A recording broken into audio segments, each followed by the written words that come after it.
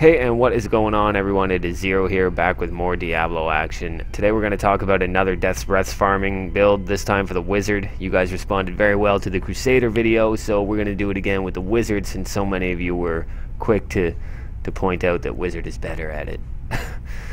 um, I will note quickly that this build can farm up to a thousand Death's Breaths an hour, even more if you get lucky with Goblin packs in your rifts.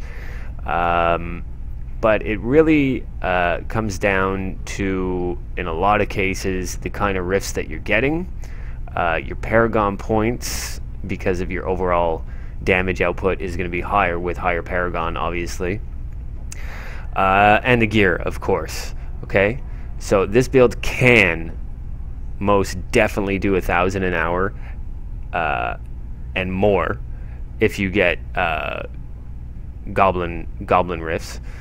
Uh, I've seen some people claim as high as 1500. There's no way that's happening unless you get goblin rifts. No way. So when you see people saying 1500 uh, per hour, it's not possible without like at least like three or four, maybe even more goblin rifts. That would that would just wouldn't happen. Um, but on average, I'd say this build can do. Uh, I'm gonna let's say 600, 700 with you know, average Paragon and average gear an hour. Um, as long as you have enough cooldown and you're really zipping through and you're getting good uh, spawns in your rifts, like it can it can do a lot and it can do a thousand an hour. Um, I've done a bunch of runs with it. Um, done five runs with it. One of the, uh, one of them I got like 600. Another one I got 700. Uh, one of them I got 958 and in the other two I got just over a thousand, like a thousand and one, thousand and four, or something like that. Um, so it's and those 1000 ones had just like perfect layout, uh, tons of elites, um, couple of goblin rifts kind of thing. But anyway, it's a, it's a good build for farming DBs. So skill-wise, guys, we're looking at Electrocute, Lightning Blast, Teleport Calamity, Storm Armor, Scramble, Diamond Skin, Prism, Frost Nova, Frozen Mist, Explosive Blast, Chain Reaction, Passives, Evocation, Audacity, Conflagration, and Illusionist. Uh, gear, we are again going to be using Sage's set, uh, obviously, because we need the extra Death's Breaths to really make this worth doing. Uh, without it, you may as well just run another build that is more powerful and can run uh, T13 with these. This build could could do T13, but it, it, wouldn't be efficient. So we do it on T10, T11. Uh, do it on T11 if you can really, really fly through the rifts. If not, do it on T10 and you're still going to get a ridiculous amount of Death's Breaths. You'll still be able to do runs with a thousand an hour. Uh, it really just comes down to the the rifts that you're getting more than anything else. So when you see guides that say, oh, this build can farm 900, 800, 1,000 death Breaths an hour, basically, you know, people test it, test it, test it, and they look at their best runs, right? You're not always going to have a 1,000 death Breaths an hour run, let's face it. Sometimes the rifts just aren't going to agree with you, and that's not going to happen. And sometimes you'll well exceed that 1000 mark because you get lucky and you get a whole whack of goblin rifts or something, right? And and the death breaths just rain from the sky when that happens. So uh, regardless, you need to have Sage's set for the extra death breaths drop. Uh, definitely go for all damage you can on your gloves, so trifecta if possible. If not, get at least crit chance and crit damage on there with main stat and vitality. Boots, try to go main like full tank on there. Uh, we are also running Tal Rasha's set, six piece with the Rorg and the Cube. Pants, full tank. Belt, full tank. Uh, chest piece, uh, main stat vitality, attack speed, go explosive blast damage on there. You want to boost your explosive blast damage as much as possible with the with the build. That's going to melt everything for you. Uh, we're going with the amulet again. You could go trifecta or main stat crit chance, crit damage, uh, or you could even go area damage, crit chance, crit damage. It's up to you. Uh, the helm, int, vite, crit chance. And then we are using, for shoulders, we're using a crafted set. We're using corruption, uh, int, vite, cooldown, explosive blast damage, Uh, we're using another set as well, Focus and Restraint. Uh, when you hit with the resource spending, you get 50%. When you hit with a resource spend, you know, the, the whole thing. Spender, generator, spender, generator, increase your damage by 100%. Okay, so go uh, either trifecta or main stat crit chance, crit damage on both rings. Uh, the first legendary gem we're using is uh, Wreath of Lightning, guys. We're looking for as much speed as we can get out of this build, and that's why we're using it. Uh, and you're going to see lightning flying all over the place. It's a, it, it's it's pretty gratifying to watch it happen. Uh, but we're basically using it for the speed more than anything else. Um, on the other ring, again, main stat, crit chance, crit damage, or trifecta.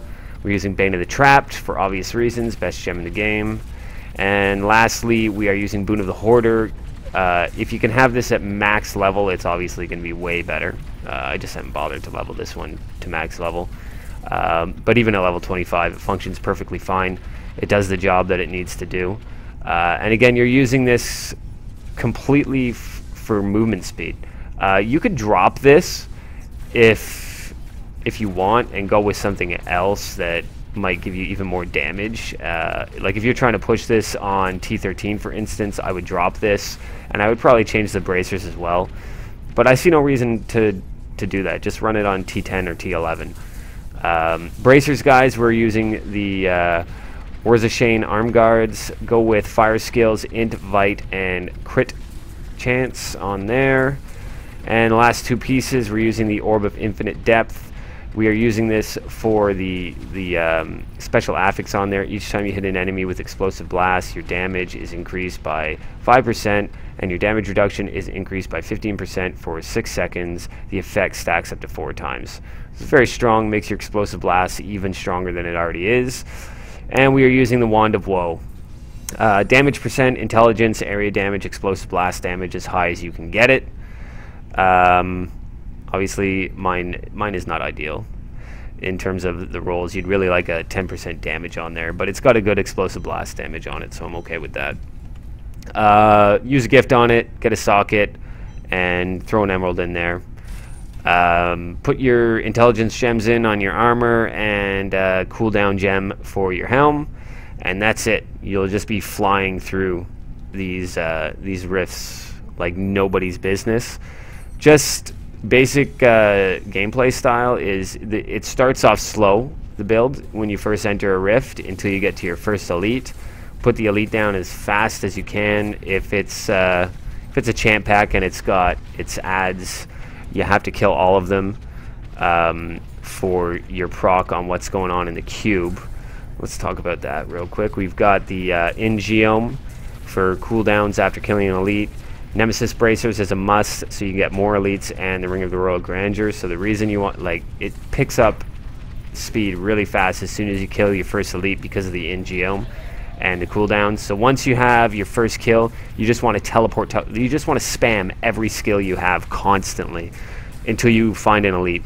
And then once you find the elite, stop moving forward, spam everything you have until it's dead, pick up the Death's Breath and the loot, and keep moving. And just spam everything. That's all it is. You're just smashing buttons, going towards elites, and everything melts.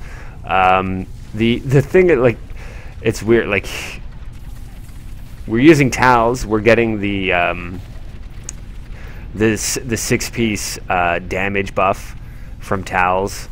Uh, and that's pretty much all we're using it for. We're not really using it for, for anything else. The the meteors don't really matter. What's going to be killing stuff is the explosive blasts. Um, it's a pretty self-explanatory build, you know. It it just moves fast, man. It's a it's a ridiculously fast build as long as you can keep your In-geom stacks up. Um, if you have a bad Wand of Woh, I might suggest uh, equipping In-geom instead and having Wand of Woh in the cube, especially if you only have like an old Wand of Woh, which at this point I doubt it. If you're playing Wizard, you'd probably have a new one. Even if you're only playing non-season, you'd probably have a newer one rather than the old one. Um, but yeah, that's the build. It moves super fast. Uh, it definitely, in my opinion, collects Death's Breaths even faster than the Crusader build that I posted two weeks ago. Um, and it's way funner to play. It's just, it's kind of crazy to watch. It's almost like you don't even see the wizard uh, if you're getting elite packs lined up well, you don't even see the wizard. All you see is this like exploding blip just flying through the screen, destroying everything in sight. It's it's pretty fantastic. Uh, and that being that being said, it's a little bit squishy sometimes depending on what some of the elites have, but that also comes down, I think, for me with the fact that the gear that I'm wearing is pretty bad. like, no, it's not great gear. But anyway, the fact is, it can it can farm Death's Breath like ridiculously fast, and it's super fun to play. It never gets boring farming Death's Breaths with this build because of just just how gratifying it is to just see this wizard zipping through the screen with these massive explosions and lightnings flying off it all over the place. It's really fantastically fun and enjoyable to just watch it even. So that's the build, guys. Um, I'm not even sure what the what the name of this build is, to be honest. Obviously, I didn't create the build. Um, just one of the many speed farming builds I found uh, on the forums. I can't remember what uh, what the guy called it in the in the forum post that I was reading. But whatever, it's super fast. It does the job. It farms Death's Breath like nobody's business. Go try it out. Let me know what you think. I definitely think this is a better better Death's farming build than the uh, Crusader one that I posted. Let me know what you guys think. Is it better? Is it not? Do you like it? Uh, if you want me to cover the Manald Heal version of Death's Breath's farming uh, build, uh, leave likes on the video, man. Like 100 likes. How's that? put 100 likes on it, I'll do another video about the other Death's Breath farming wizard build. Um, but I'm not going to do it if you don't like the video. Because liking the video is how you show me that you want me to do more. Hit that like button. Like, comment, and subscribe, guys. Later.